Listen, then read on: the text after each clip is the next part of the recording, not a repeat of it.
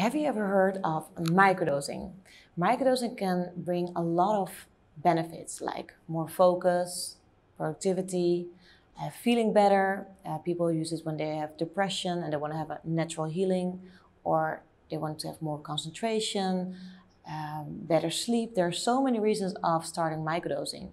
And I would like to take you on a small journey in the world of microdosing. So if you would like to know more, please leave your name and email address and I will explain more about microdosing.